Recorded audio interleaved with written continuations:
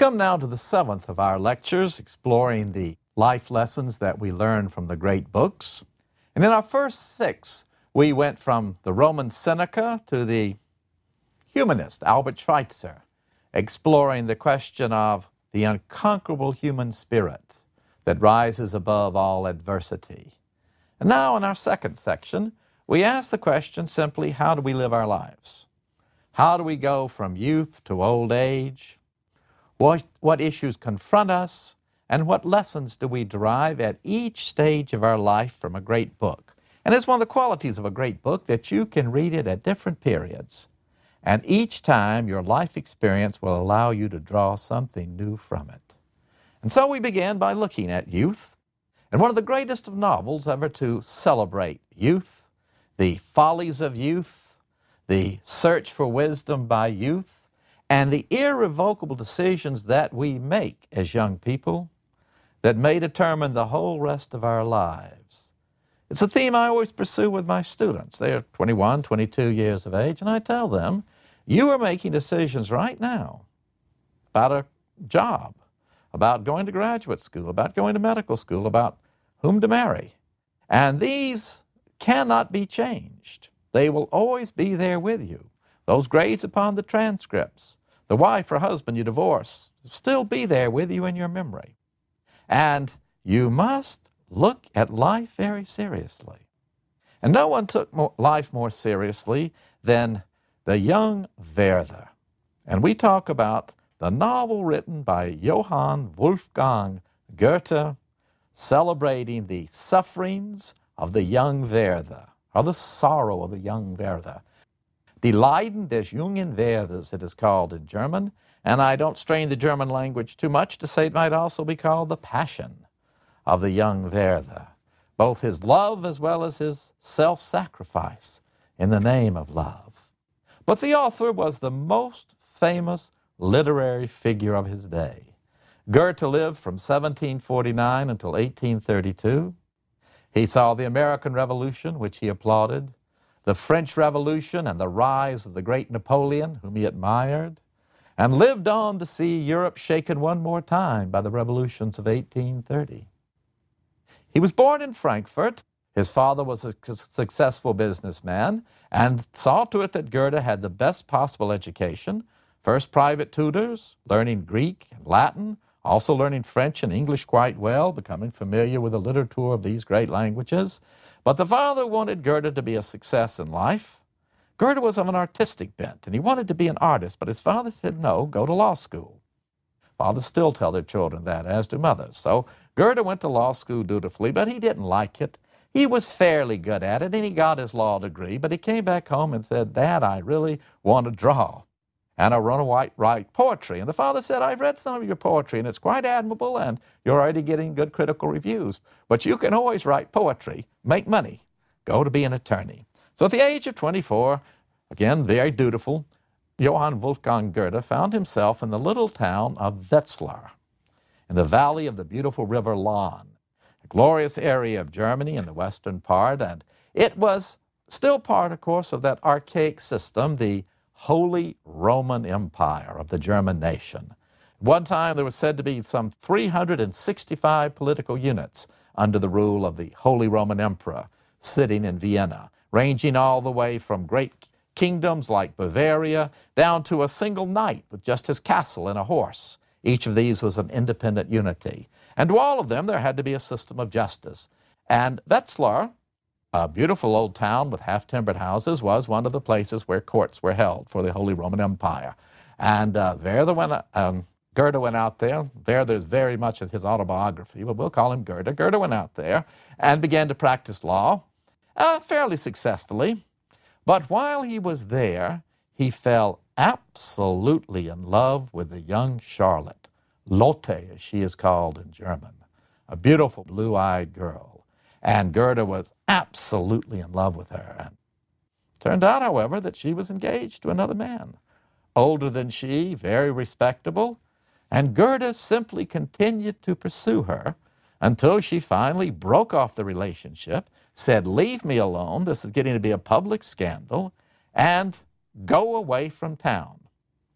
And so he did. but at the cost of tremendous emotional suffering. I ask my students again Has any of you been in a situation in which you would throw away everything just for love? And Goethe was so much in love with the beautiful Lotte that he seriously contemplated suicide. He was of a deeply melancholy disposition. And he took out a dagger, he said, time and time again, and would poke himself to see how far he could drive it in. But then he decided, no, instead of killing myself, I'm going to make a creative act. I'm going to do something, and I'm going to write about all this suffering. And in four weeks, he polished off the sufferings of the young Werther, pouring his whole story, all of his pain, into this novel of another young man. And it became an immediate success. Goethe was an overnight sensation because of this novel, The Sufferings of the Young Werther. It is in the format of an epistolary novel, that is to say, letters being written. And uh, Werther writing to his correspondent, Wilhelm. And Wilhelm is then the editor and begins with a short preface that he thinks the sufferings of the young Werther should be made known to the world so that this tragic story might prevent others from following in the footsteps of Werther to take their own life. So you know at the beginning what's going to happen to Werther. But the first letter in May of the year is all filled with sunshine and spring. It's the age of renewal, the time of that year when the buds come forth and the thaw comes about. And young Werther has moved to a little town the Lahn, in the Lahn Valley, a little town called Walheim, the place I would choose to live, it might be translated. And there he just wanders, enjoys nature, breathes deeply of nature, and celebrates a liberation of his soul from all the restrictions of society and of his mind from all the restrictions of classical learning and of an age which believed that nature was controllable and that all laws could be known by reason. And he rejoices just in the sense of his own spirit and his uncontrollable, irrational love of nature. And the only book he says he needs is Homer, reading about the Odyssey and the wild story of the great war with Troy and the beautiful descriptions of nature that Homer already understood. And like the romantic poet Keats, he believes that he has looked into a whole new world when he first studies Homer. So, with Homer in his hand and walking about the fields, he has put his law career far behind him. And he draws, he sketches. Pretty good at it, he thinks, and reads his Homer and sketches, drinks a little wine, and gets to know the local people. And in them, the ordinary peasant, there's such a joy for life and an understanding for life. And he immediately feels a kinship with him. He just sits down one day in a farmyard with a lady and her two little boys. And he said, May I draw your two little boys? And she says, Yes, please go ahead. Here, take a little money, he says, and run off and buy some rolls and milk. And they treat him like a member of the family. And then he sees another young man walking along and he says, May I sketch you? And the young man says, Yes. And the young man says, I am so happy, I am in love. And I am in love with the lady I work for. She's a widow. And, and I just love her so much. And the very joy of his love made me feel good, Werther said. So, in this midst of love, and he's walking along, and he has heard about this bailiff, a local man who owns a good deal of land and manages other land, and he wants to go visit him. He likes to go calling upon the local people and introduce himself. And he goes, and the bailiff is not there, but the daughter is there. Lotte is her name as well, Charlotte. Lotte. And she's taking care of her little brothers and sisters. Her mother died some years before, and Lotte really runs the house. And from the first time he sees her, Werther is absolutely taken. He has been struck by the thunderbolt. She is the most beautiful person he has ever seen. And she is so good. You can just see the goodness coming out of her. And she tells him, There's a dance tonight. Would you like to go with me? Oh, yes, I'd love to go with you, he says. And they go off in the carriage and they find they have so much in common. Now, she's not a highly educated person, but they like the same literature. Do you like the Vicar of Wakefield? Oh, I love the Vicar of Wakefield. Oh, do you like the poetry of Klopstock? Oh, I love the poetry of Klopstock. And Werther begins to recite to her Klopstock's magnificent poem on nature and May and a beautiful May rain. And it starts raining right then, and they arrive at the dance. Oh, and how she can dance. I'm sometimes a little clumsy, Werther writes to Wilhelm, but that night it was as though I had wings on my feet. And we danced and we danced, and we were the center of attention as we danced and danced. And um, a lady turned to me and said, while I was getting a cup of punch, You're such a beautiful couple. She is a lovely young woman. She has run such a wonderful house for her father. She will make Albert a lovely wife. What? Albert? Who is Albert?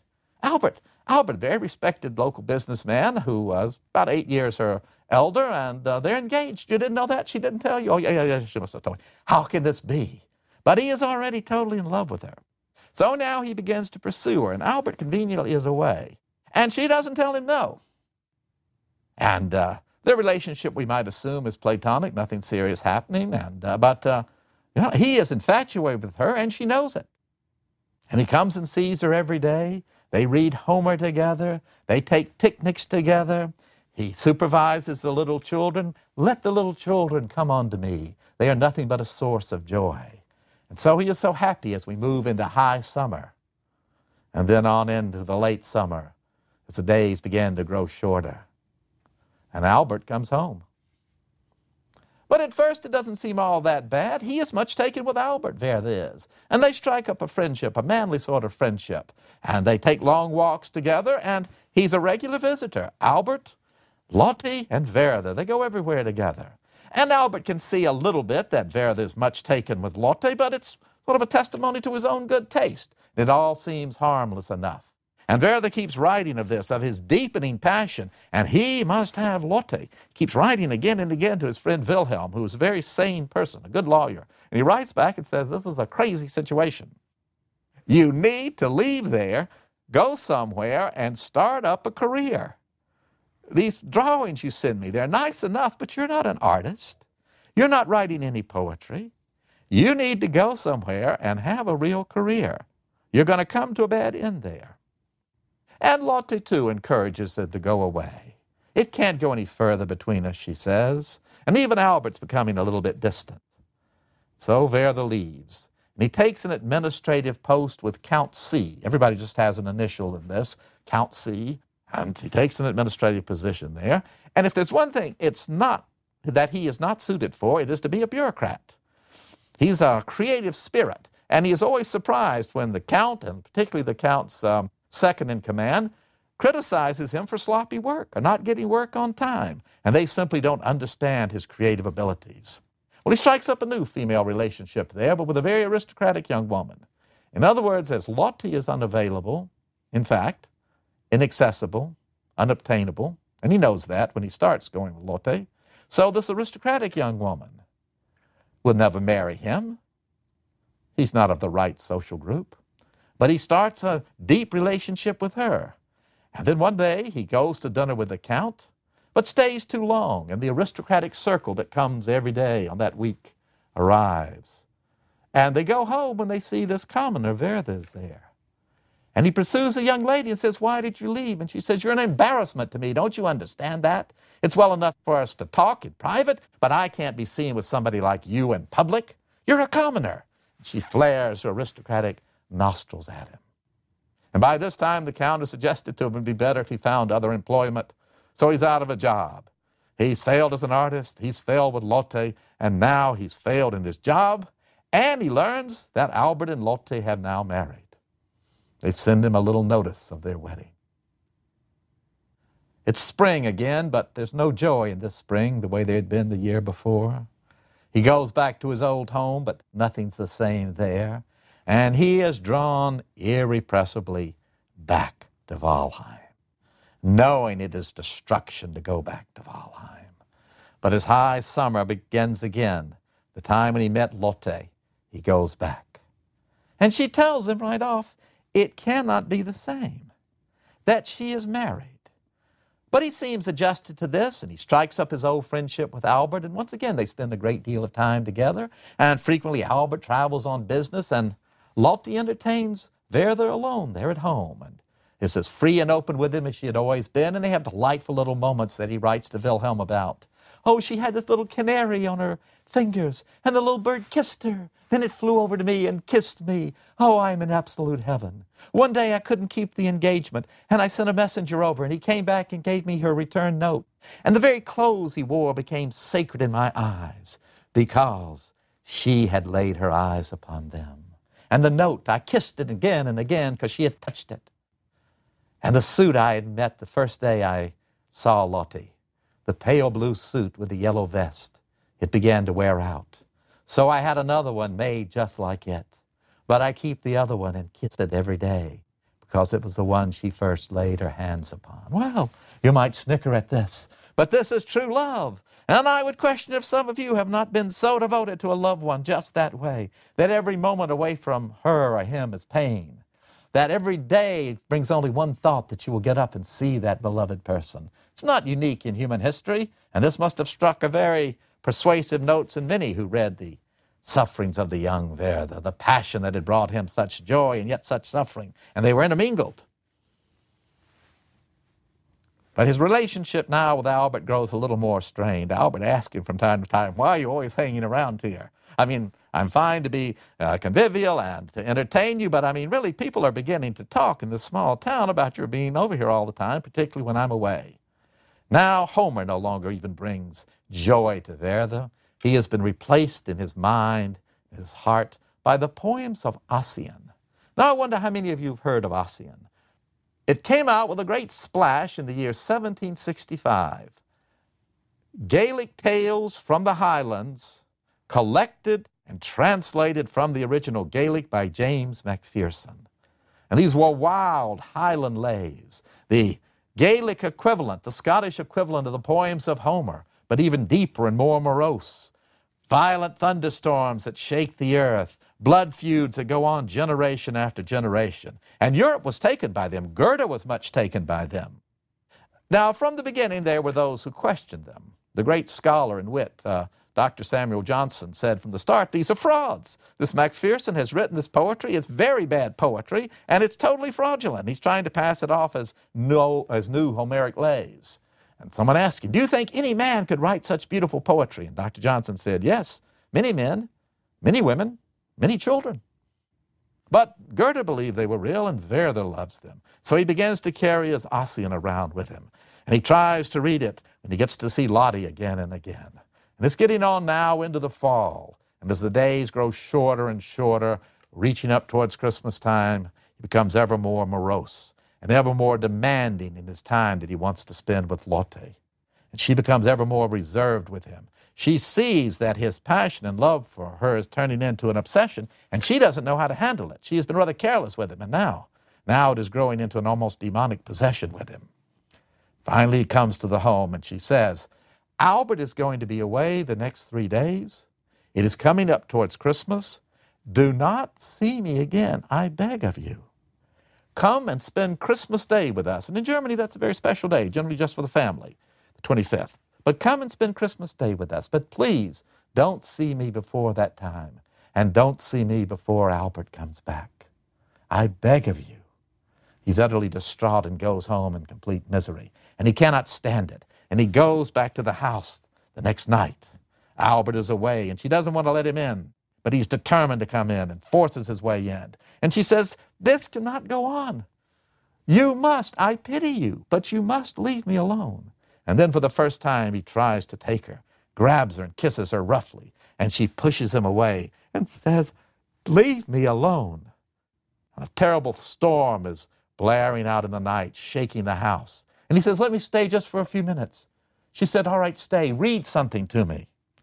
I'll read you my translations of Ossian. Yes, read me your translations of Ossian.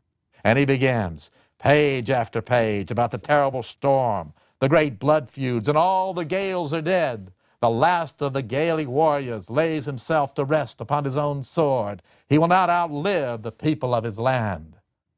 Gloomy thing for a gloomy night.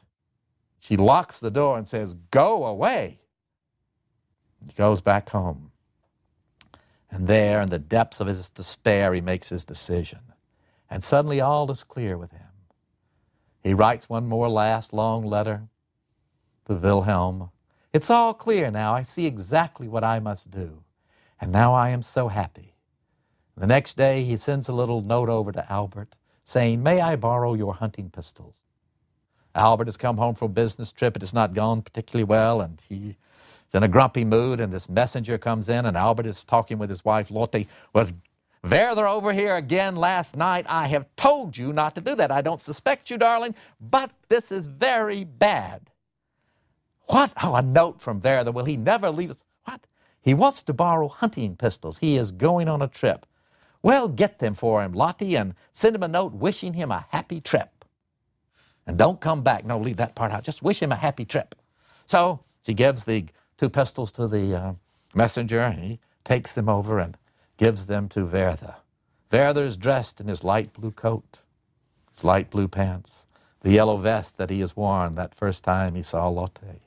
And he asks the messenger, Did Herr Albert give you these? And the messenger says, No, no. Frau Lotte gave them with her own hands. her own hands. She is blessing me, he says, and he kisses them fervently. Then he takes care of some bills he has to pay. You know, frequently people, when they finally reach their decision about suicide, take care of all the small matters. Their minds are completely free. Pays his bills, writes one last letter. Then at midnight, puts the pistols to his head and fires them. A neighbor hears the sound. But he thinks it must be thunder, a flash of lightning perhaps, who knows? Thinks no more of it.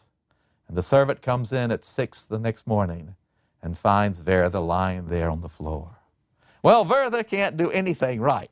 He can't fall in love properly, he can't draw, he can't be a bureaucrat, and he can't kill himself. He is still alive. And he is lingering there. So they rush and get the doctor. The doctor comes, bringing Lotte and Albert with him. And Goethe is there with his, and Werther is there with his death rattle and dies on the bed.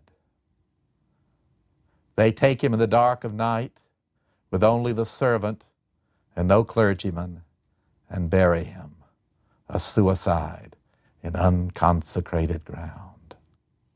And so the sufferings of the young Werther have come to an end. And this melodramatic tale swept Europe. People came just to see and shake Goethe's hand. He didn't have a job, and he didn't get a lot of money from Werther because uh, the copyrights law were such that all sorts of pirated editions were printed everywhere. But one day a message came in the mail from the Duke of Weimar, and he said, I so admire your work that I would like to meet you. Please come to my court. And Werther went. And the Duke, who was a little younger than uh, Goethe, said, I want you to be my tr most trusted aide. Anybody who can write a novel like that, you've captured all the essence of life.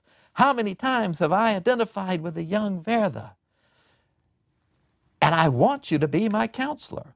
And there Goethe would spend the rest of his life, climbing to ever greater fame. He was a very capable administrator, ran the dukedom very, very well, supervised the taxes, was ever trusted by the Duke, absolutely confidential and loyal to the Duke, but became the most celebrated intellect of Europe. Why, he wrote his magnificent works on science there in Weimar, his Farbenlehre, his study about how color comes through, his treatise in physics. He made studies of plants that influenced even Darwin. And he wrote his plays. He made his journey to Italy and captured the essence of the conflict between the romantic love of nature and the Middle Ages and the glorious love of classical antiquity and symmetry. And the conqueror, Napoleon, in the height of his fame, came to Weimar just to see Goethe. And Napoleon came to Goethe and said, I have read Werther seven times, and he wasn't alone in this. I carry it with me on all my campaigns. I had it with me in Egypt. And turns to his generals and says, Voila un homme. There's a man, Goethe. Now tell me more about Werther and what deeper meaning you see in it. And Goethe said, I began to feel about Werther the way you would about a brother who was an embarrassment. He was always hanging around and people were always bringing him up. They'd come and talk to me, and I'd say, Well, haven't you read my Italian journey? Yeah, I have. That's kind of hard going. But that Werther, when are you going to write another Werther? That was a great book. Write another one of those, why don't you? Have you read my Farbenlehre? No, I haven't read about colors. I'm not very interested in science. Why don't you write a Werther? That's all people would ever ask. Why I would go and give a lecture and they'd say, explain Werther to us.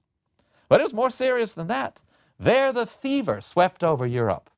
And it was said by the authorities that hundreds, some even claimed thousands, of young men had killed themselves. Yes, having read Werther and died in a blue suit with a yellow vest a copy of Werther in their hands, struck down by love and taking him as their model. And Goethe himself bemoaned this Werther fever. But all through his life, he continued also, though, to grapple with this question of why do we live? And he had chosen to live, not to die as Werther had. He had thought about suicide, but put it away and said, I have a creative life to live. And he had joined the creative and the practical. But he continued to ask, why do we live? And how do we create? And why do we create? And so, in middle age, already famous, he came back to the theme and what he would regard as his greatest literary work, the Faust, and published the first part of it in 1808.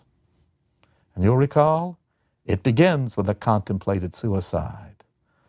The learned Herr Dr. Faust is there alone in his chambers, pondering on how he has studied philosophy, the law, even theology, I'm ashamed to say. Pondering, it all means nothing. I have learned only this. Learning only means pain, and we can never know anything. I am going to kill myself. And he takes a cup of poison out, looks upon it, and says, All I have to do is to drink this down. And it's all over. But he doesn't. It's springtime, just the way it was springtime for Werther. The bells began to ring out, and he realizes it's Easter. And he puts down the poison and will make his pact with the devil to find and acquire all the things that he has missed in his youth devoted to learning. And what does he search for? The same thing Werther does love. Not just worship, but uncontrollable lust. The same that Werther felt for Lotte. And he will destroy the beautiful, chaste young Gretchen and leave her to die in prison, the same way that Werther really threatened the destruction of Lotte. And Goethe continued to ponder this question. And as an old, old man, he published his last work, the second part of the Faust, in which Faust too has grown to old age and understands that all of his efforts have resulted in nothing. And on his deathbed, the devil comes to reclaim his soul. He has fulfilled his part of the bargain he has given to Faust lust, he has given to him women, and he has given to him all earthly power. And now he comes to get his soul back. And Faust is saved not by any deed of his own, but by the intervention of the goddess of the Virgin Mary, the Mother of God. And the last lines are the eternal feminine draws us upward into salvation. And all through his life, Goethe had wondered about this question, derived inspiration from it, about how are we saved and the divine role of love. And the Werther remains for us, if we can go through the melodrama, a very enduring statement of the serious passions that every one of us as a young person feels or felt that make us in a situation in which we say it cannot get any worse. I am going to take an irrevocable action and put it all behind me. We see this tragedy all too often on television. When some teenager, bullied at school, depressed by some outside event, decides to do some terrible deed to others and to themselves. And so Goethe calls us back and says, just with Winston Churchill, as long as there is life, there is